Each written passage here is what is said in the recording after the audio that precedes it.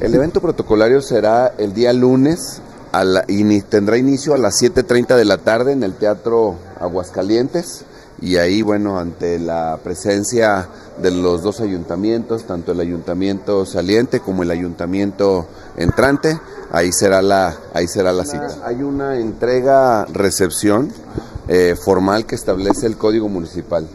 Esta entrega-recepción, en este caso eh, del presidente o presidenta municipal, dice que se realizará en cuanto termine la sesión solemne de entrega-recepción.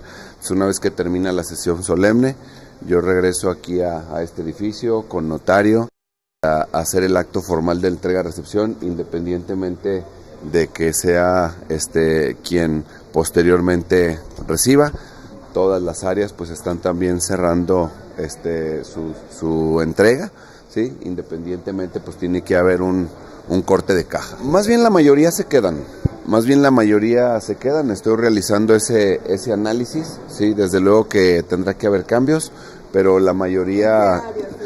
Eh, estoy todavía eh, realizando una, una evaluación muy objetiva de cada una de las áreas. Bueno, estamos realizando este, una, un examen de cada una de las áreas. Sí, pero ya en su momento ya les, les comentaremos. No hay áreas débiles. Miren, no, no hay áreas débiles. Yo creo que todas tienen áreas de oportunidad, pero no hay áreas, no hay áreas débiles.